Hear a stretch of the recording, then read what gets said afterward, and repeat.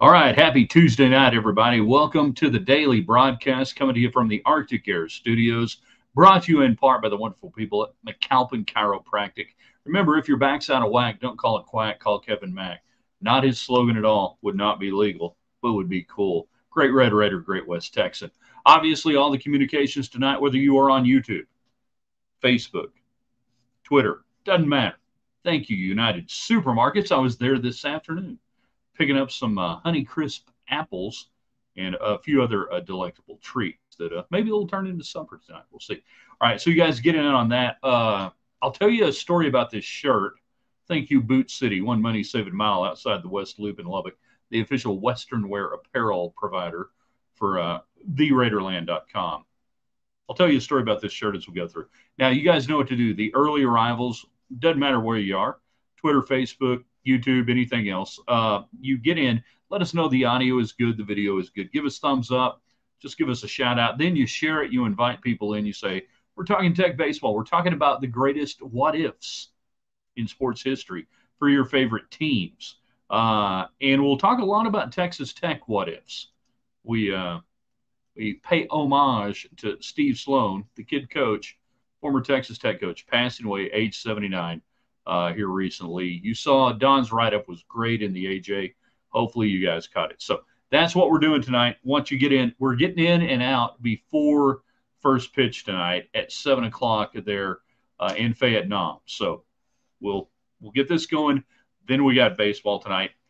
I reserve the right to come back with uh, an emergency diamond talk if cool things happen tonight.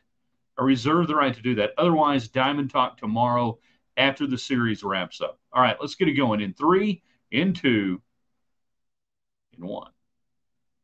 Good evening, West Texans, all you good, fine, friendly folks out there who wish you were. I'm Ryan Hyatt, theraiderland.com. Start your day there. Every all the cool stuff we do archived there. Coming to you from the Arctic Air Studios. If your air is not Arctic when it gets warm, you need to call the bear, callthebear.com. All right, simultaneous sip, everybody and we find out what's on your mind tonight. Uh, we have Tech Baseball said it's a huge resume builder just by playing Arkansas. And I want to double check, make sure I get this right. Click on something. There we go. So Texas Tech starts the day at 30, 36, I believe.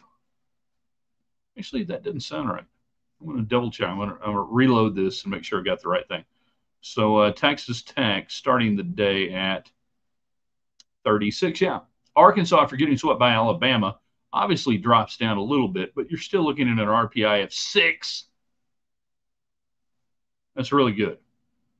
So just by playing Arkansas, just by playing these games, this is going to help the metrics for Texas Tech. If Tech can somehow get a game, whether it be tonight or tomorrow, if they can get a game, Maybe Erdman goes out of his gourd tonight. The Bats do what they have not done on the road, which is actually drive runs in when runners are in scoring position. The last time Erdman was out against Stanford, uh, tough day of pitching conditions, and he held Stanford down. Now we can say Stanford's not nearly as good as what you normally think they are. Certainly no Arkansas this year, but he did it. And that tells me he's got a little bit of something between the noggin, between the ears, in his noggin. Still a little toughness to pitch like that. Now, um, Arkansas is a different deal. We'll see what happens. We'll see what happens. But just by playing Arkansas, you lose nothing on the RPI. But if you're Texas Tech right now, even with the uh, 36 RPI, one of these wins would actually be bigger mathematically. Stay with me on this conversation here mathematically it would be bigger than taking the series from TCU, which was basically where you were in the mid 30s on the RPI. Now, all things considered, you would have liked to have taken the series from TCU and then see what you do here. But if you find yourself in this situation, mathematically, a win over Arkansas is going to be a bigger impact moving you up the RPI chart, even on a midweek game, than taking a Sunday game or a Saturday game you should have taken one or both against TCU. Now, I said stay with me because I'm going to give you the backside of this here in just a second. Hey, they're they're jumping in all over the place, whether it's on Twitter, Facebook, YouTube. We want to hear from you. If you're wherever you are watching tonight, even if you don't have a comment or a question, we hope you do. Thanks to United Supermarkets. By the way, the Smithfield tenderloins that you can get that are pre-marinated. Thank you, United. Want you to jump in, just say hi. Just say, hey, we're watching, we're paying attention, we're out there we're growing Raiderland, and then uh, we're sharing it with our friends. So the backside of either Robert, I'll, I'll, I'll, get to that here in a second. Uh, Robert with a good comment on a retiring great announcer. The backside of this would be the committee will factor in, yeah, you won a game against Arkansas, but it's a midweek. And even though Arkansas has tremendous midweek pitching, uh, the Bibee kid throwing tonight's got a microscopic ERA in nine innings worth of work. Now, he's not a guy that's going to go deep, but he's a guy who pitches well. So the human element does come into play. I don't want you to think I'm saying that, oh, yeah, uh, you beat Arkansas game and you rock it up to 20 or 19 in the RPI and you're at, no, no, no, no. The, the, the human beings will factor in it was a midweek. But would you rather win one than lose one? And that's where you are right now. You got to get some games. You got to get some quality games.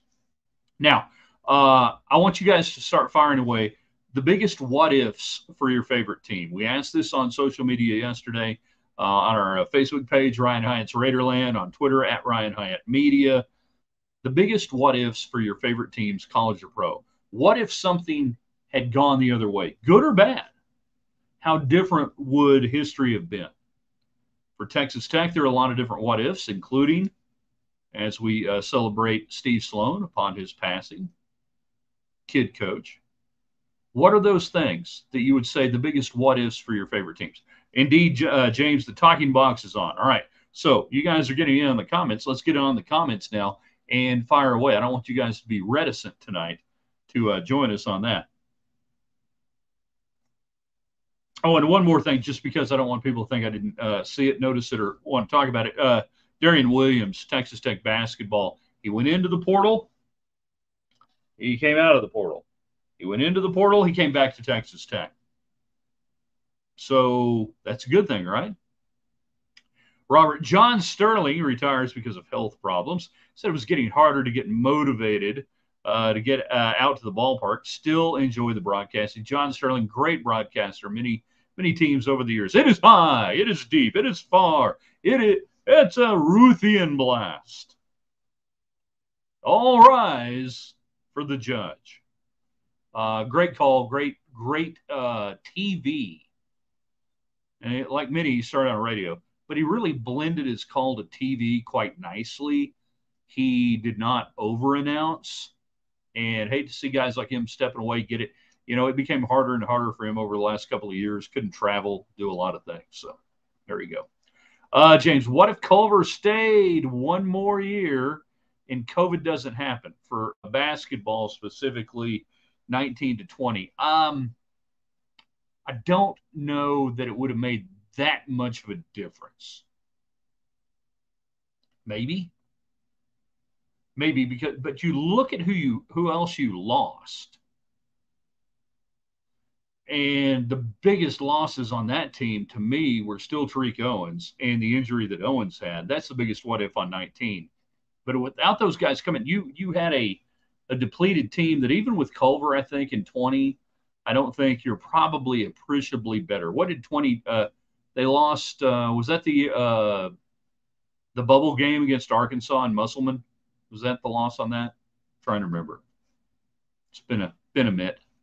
Uh, I think that was it. I don't know that you're that much better if Culver stays. What if John? Says Robert. I agree. What if John or Mark or Matthew or Luke? Of? Uh, Mooney was uh, absolutely a key player. He actually played much better defense than people realized, and he kind of helped out with some critical shots. and he's a good dude. Biggest what ifs in your favorite sports team's history? We asked that tonight. College or pro? Texas Tech, Dallas Cowboys, Chicago Cubs, it doesn't matter. The biggest what ifs in your favorite team's history. Uh, we are talking Texas Tech baseball. Hey, if you can't hit better than uh, like, you know, 245, 270 tonight, runners in scoring position, you're probably going to lose. You need to uh, actually drive in some runs. It would be kind of handy. But by all means, we're going to continue to gripe about the pitching, which, as in Big 12 play, given you more or less every opportunity to win. There will be people nitpicking everything else. And we talked a lot last night about Tech fans all of a sudden wanting small ball. We're not bunting enough. Ain't who you are. If you want that, you don't want Tim Tadlock. If you want to say you don't want Tim Tadlock, that's fine. Say you don't want Tim Tadlock. The College World Series trips were cool. That was nice. Now we want to do something different. And we want to do something that nobody else is doing in college baseball right now, which is small ball. Uh, Chris, 2020 took baseball biggest what if. That was a, a big what if. Uh, that team, as you uh, well, you gone out to Mississippi State, I think it was, come home, play Rice, and I think I've got the scenario right. And West Virginia's coming in and it scuttled. That was going to be a good team. That was a well balanced team. Well balanced team. Uh, good offense, good defense, good You know, seemed everything seemed to be right, and would have loved to have seen that team go to fruition for Texas Tech baseball. Painful. I'll tell the story about this shirt too. Hey, if you're on uh, Facebook, we want to hear from you. If you're on Facebook, we'd love to hear your comments. If you're on Twitter, easy to do. Jump on Twitter, hit us up with that. Then you can share it with other people. All you got to do, thanks to United Supermarkets, you just type away, hit the uh, comment question or anything else. And YouTube, it's the same thing. We got Roberts on YouTube. Uh, what if John Elway got drafted, got traded to the Cowboys instead of the Broncos? Uh, was it the Colts that had his rights initially? I think Jim Irsay they traded the Broncos. So uh, Elway goes to the Cowboys in '83. Was it '83? Danny White still his prime. Uh, wouldn't have happened because Danny White was coming off of uh, three NFC Championship game appearances there uh, against the uh, against the Eagles, the 49ers, and the Redskins. Uh, it, it, wouldn't have happened. It just wasn't going to happen. So to me, that's a non-starter on Elway uh, going to the Cowboys instead of the Broncos. Uh, 2008, you beat OU, says Donald that is such a far off what if that it's not even worth considering to me because you were so not close to beating OU. Now, if it were a close game, yeah, maybe. The bigger what if on that year is what if Blake Gideon holds on to the interception and you don't beat Texas? What is the trajectory for Mike Leach, the program after that? How different would you remember that era if Blake Gideon holds on to the interception and you don't get the touchdown there against Texas, you come back the next week, you blow the hell out of Oklahoma State, get the LBW uh, against uh, Oklahoma, then you've got Baylor, and then you uh, limp into the Cotton Bowl. So yeah, the the O the OU game is not a what if for me for Tech for Tech football because you just weren't even close, not even close at all. My what ifs kind of have to be close. We're talking about the biggest what ifs in your favorite sports team's history, talking tech baseball. Uh, we will get into uh, the passing of Steve Sloan, who uh, coached one of the big what if teams uh, there in 76 and 77. What if Houston doesn't get the interception in the end zone? What if the next year uh, Rodney Allison doesn't have his ankle broken by Texas A&M? How different would that have been? And what if there were there were a couple of what ifs in the 70s with tech football that I've written some alt history on it that most of you have probably forgotten or whatever. That's okay. We'll get into that. Uh, you guys jump in on the uh, comment line, the text line, however you want to do it, whether you're on YouTube, Twitter, Facebook, or anything else. Uh, I want to hear from our uh, Twitter people tonight. Love hearing from the Twitter people. Thanks to United Supermarkets. Uh, James, what if the error after the Bartman debacle doesn't happen to the Cubs win the World Series in 01. Uh, see, I'm trying. Who who won in 01? Was that uh was that uh Yankees? Yankees Mets Subway Series. Who won 01? Arizona versus. I'm trying to remember. Probably not. The Cubs, uh, the Marlins. Okay, yeah, it was Florida. Um, hmm, I don't. I don't know. Maybe. Really spent a lot of time debating that one in my mind, James. Maybe they do. Probably not, though. Probably not. What if the uh, what the Cowboys don't make the Herschel Walker trade? Says somebody today.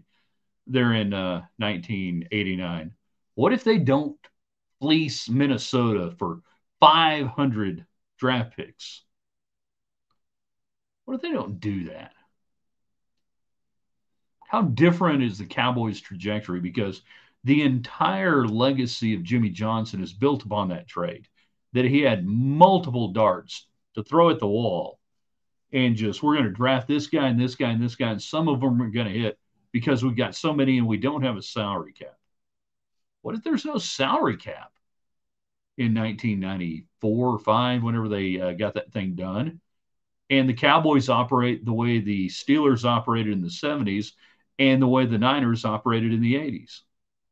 I think those are two huge, huge eras for the Cowboys that if you do a what what if it's a little different macro micro that I look at.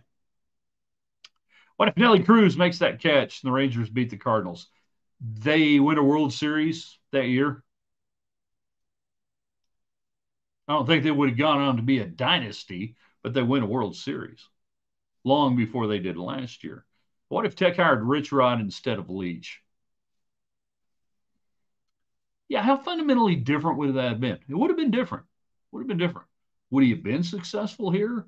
Um, you know, we saw him within a Big 12 footprint for a while. I don't know. And you were this close to hiring him, but his wife allegedly didn't like Lubbock. So you don't hire him. You know? Uh, Robert Danny White, Bob Breunig would have been uh, part of the package going back to the Broncos. Eh, I don't think they would have done it. I, I really don't think it would have happened. So, but let's say that happens. You've got an aging Tony Dorsett that you obviously didn't replace. You've got an aging Tom Landry as opposed to an ascending Dan Reeves. Landry would not have allowed or wanted Elway to be Elway. Run, keep the play alive, do stuff. He hated Staubach for doing that. He, he uh, you know, even if you get him, I don't think it would, would have worked out that well. Now, you're probably better mid to late 80s just with him being there but I don't think you'd do anything. What if the Rangers repeat? Call me in a year. What if Ludvig doesn't double bogey 11 on Sunday? No, he didn't win the Masters. Scheffler would have just like gone like total albatross or just something awesome and would have beat him.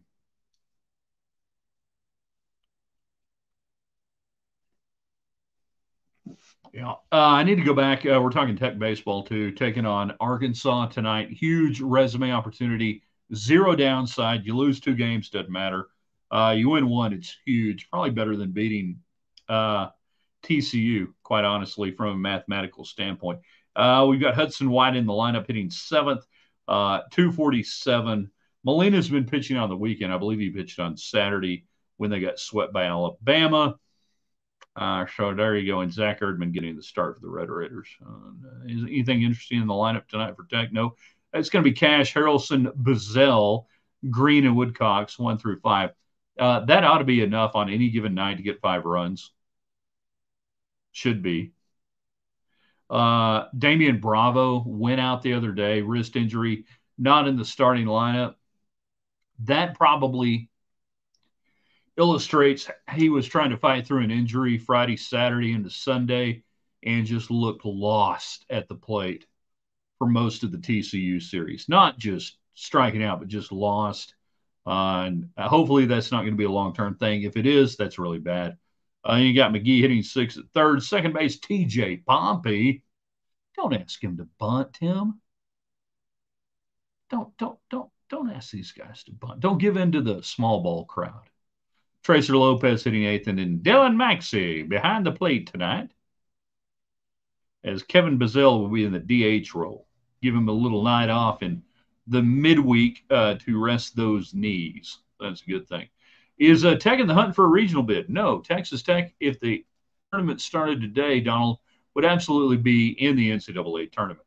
Uh, RPI 36, they're well within the uh, bubble right now. So now they're not in the host conversation. Let's not even talk about that. But uh, you're in the tournament right now. You're just trying to not be a crappy three seed. Here's the good good news about playing Arkansas this late. The committee will be reluctant to send you back to Fayetteville as a three seed. So that's actually kind of good. James, what if what if Montana doesn't complete the catch to Dwight Clark? The Cowboys win the Super Bowl. Tom Landry coaches two more years and retires in the mid 80s after getting that last Super Bowl championship. It's beautiful. Albert, what if the Bears draft Mahomes? his career is over, doomed to failure, a bad organization, as opposed to going to a good organization. He is um, sitting on his third head coach, and they're trying to figure out why is this not working. And he ends up not signing a second deal. He leaves Chicago and he goes to Carolina and takes on a Carolina team that uh, is about as dysfunctional as it, but he gets paid, you know, because everything else. Yeah. Bears draft Mahomes. Arizona. What if Arizona had somehow ended up drafting Mahomes? Horrible. All right. Biggest what ifs for your favorite teams. We've written about this. We've talked about it before. Two big ones in the 1970s for Texas Tech football. Uh, instead of hiring Jim Carlen away from West Virginia, there was a young assistant coach at the time out of Nebraska who really wanted the job, interviewed, uh, but wasn't wearing cowboy boots, apparently. That's, that's a myth. And Texas Tech passes up on Dr. Tom Osborne. How different are the early 70s if Tom Osborne becomes head coach at Texas Tech as opposed to Jim Carlen? Now, Carlen had great success, obviously. Some of the best seasons Texas Tech football has had.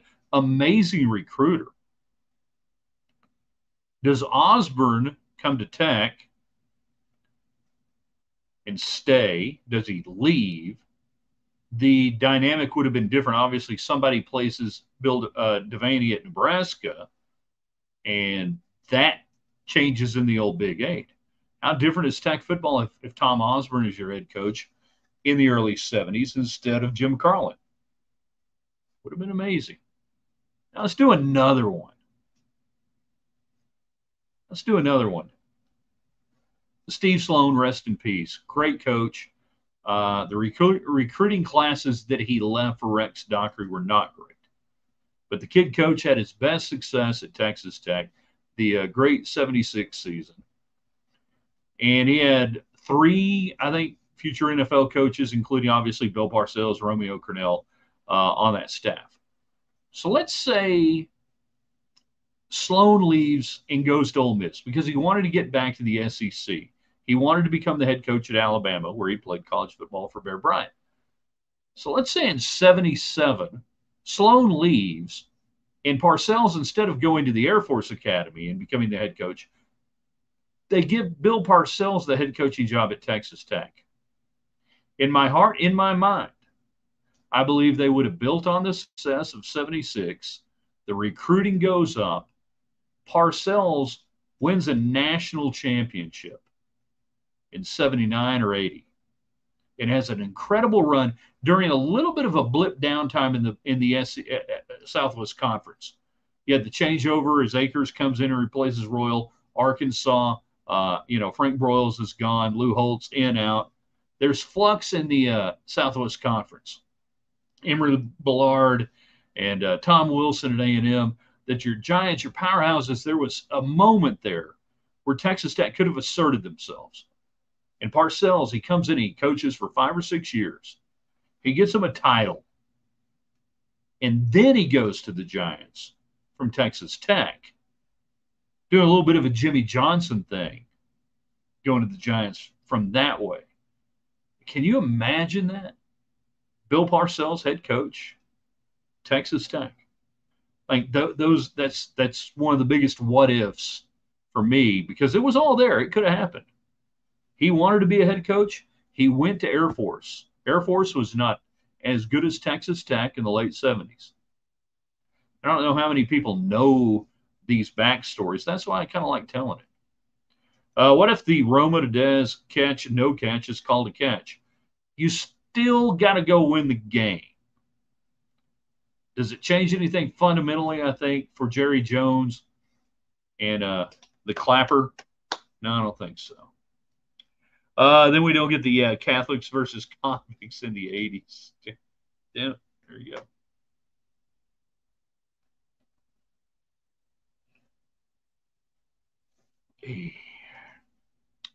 I uh, would love to hear from you guys on uh, Twitter. If you're on Twitter, you want to jump in, you can. Got a few more minutes. Easy to do. Even if you just watch it on Twitter and say, hey, we're watching on Twitter, man. United Supermarkets takes care of all the communications and everything else. Uh, so we thank them for that.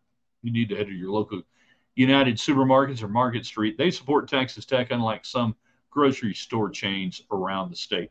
Uh, biggest what ifs Arkansas and Tech getting ready to go here in a minute. Reserve the right to come back tonight, talk a little more baseball if events warrant. Otherwise, tomorrow, definitely Diamond Talk brought to you by Thacker Jewelry here in Lubbock, Texas. Get it? Diamond Talk? Thacker Jewelry? Diamond Talk? Okay. I figure we don't have to explain that anymore. Uh, we got to say uh, also uh, salute and rest in peace. 97 year old former Dodgers pitcher, the Brooklyn Dodgers, Carl Erskine, passing away. And uh, apparently we lost Whitey Herzog at age 92, the former uh, skipper there for the St. Louis Cardinals back in the 80s. Uh, at 90, I, man, I, I'm always bad about, and I would do this on the radio show all the time with Rob Bro, and I'd, I'd like say somebody was dead and they weren't uh, thought he was dead. Well, Whitey Herzog. Here's to Whitey and all the great uh, Busch beer and uh, great beer commercials that he did over the years. Make beer commercials great again. Can we do that? Can we make that happen?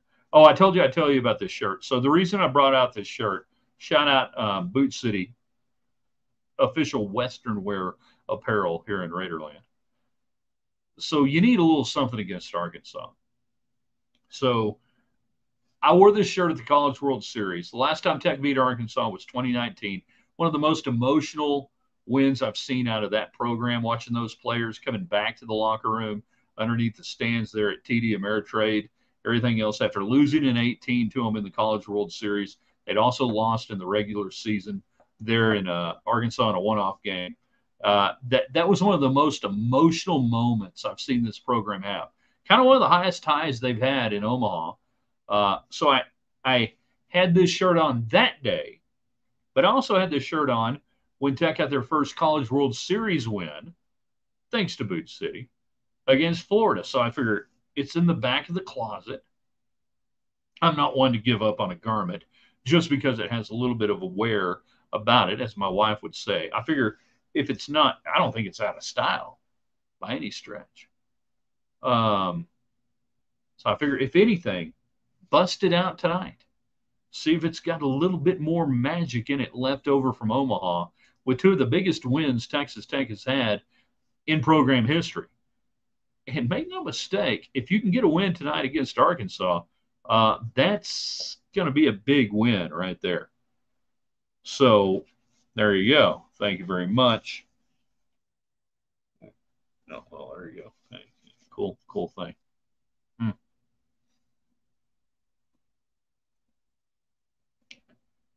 All right, your last chance. Fire away. Hey, good to see you there, Trace. Your last chance. Get your questions, comments in, or otherwise.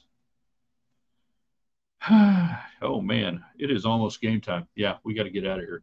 Uh, what you can do is share this on Twitter, Facebook, everything else, theraiderland.com. Go to the website every day. All I ask is that you share everything we do and uh, hit up all of our great sponsors and tell them thanks for being a part of it, right?